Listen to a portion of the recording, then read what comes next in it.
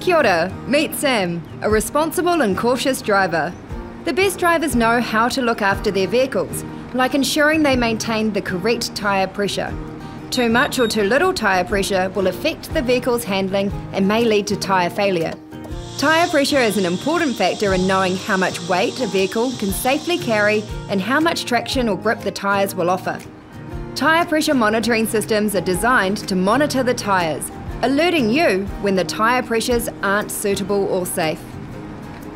Most tyre pressure monitoring systems require you to set them once the tyres have been inflated to the desired pressure level, as specified by the vehicle manufacturer. This is most often done through the vehicle's inbuilt screen or interface. These systems are not perfect, so you should check your vehicle's tyre pressure regularly or get a professional to do so.